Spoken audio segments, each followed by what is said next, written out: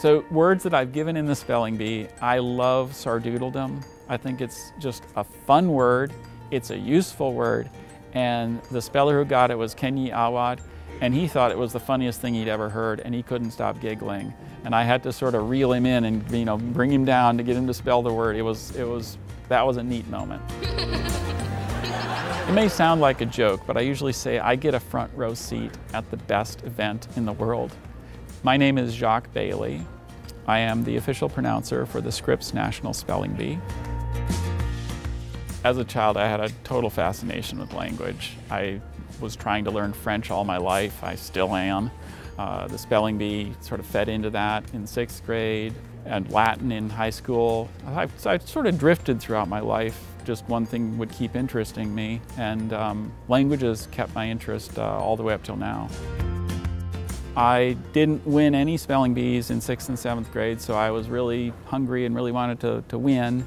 And in eighth grade, that was when I uh, won each spelling bee I was in until I won the big national spelling bee. In the national spelling bee, my final word was elucubrate. And believe it or not, the, the runner-up word was glitch. And glitch is an everyday word now, but at that time, remember this is like Ataris were computers then.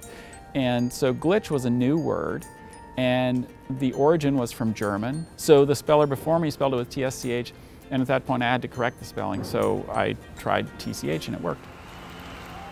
My biggest feeling when I won was relief because this was the second day of being in front of lights and none of them were LED and I was exhausted. So I was so happy to have it be over, but I wasn't willing to misspell a word to get it to be over. I became involved with the National Spelling Bee because I wrote to them and I said, I don't know if you remember me, but I won the spelling bee 10 years ago. And since then I've learned Latin and Greek and German and a lot more French. And I think I have a skill set you might need for something or other. And it just so happened that they did need somebody to be associate pronouncer, which is, at that point, was basically a chief fact checker at the Bee. I had a hidden mission because I thought they were using words that were too hard I thought that we don't need words that nobody's ever heard of to get a champion. And at that point, believe it or not, we didn't. But now they study so hard that we need the impossible words. Most of us in our daily life might misspell accommodate. These kids are at an age where their memory is amazing and they have time to devote to this and they love it. We need to find words like Ursprache, because they've studied so much that you've got to look for the nooks and crannies.